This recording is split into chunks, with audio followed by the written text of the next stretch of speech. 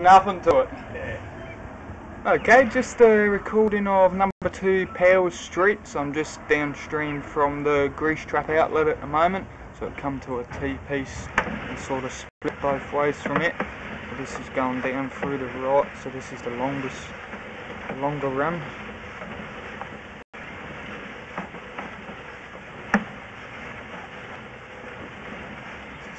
Release little bits of fat in there.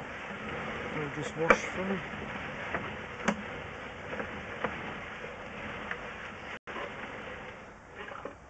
There's the T. Just come back from it.